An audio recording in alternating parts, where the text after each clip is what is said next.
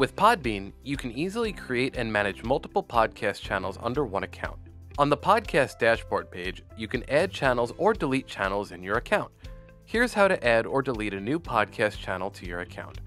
Please note that you must have purchased a channel or have an available channel slot in order to create a new channel. You can click the link in the Add a Channel prompt to purchase more channels if you have not yet paid for another podcast channel or need to purchase any additional channels.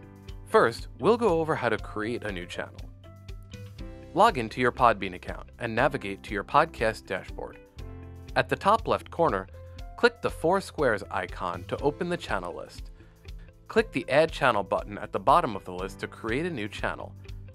Enter the URL you want for your new channel, then click Create. Your podcast channel has now been created.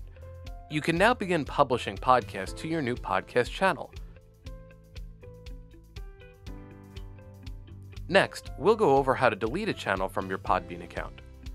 Log into your Podbean account and navigate to your podcast dashboard. At the top left corner, click the four squares icon to open the channel list. Highlight your cursor over the channel that you'd like to delete, then click the trash can icon. In the pop up box, click on the OK button to delete the channel.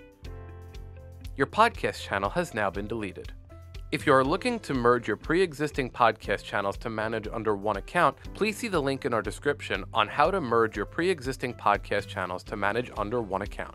You can also email us at support at podbean.com.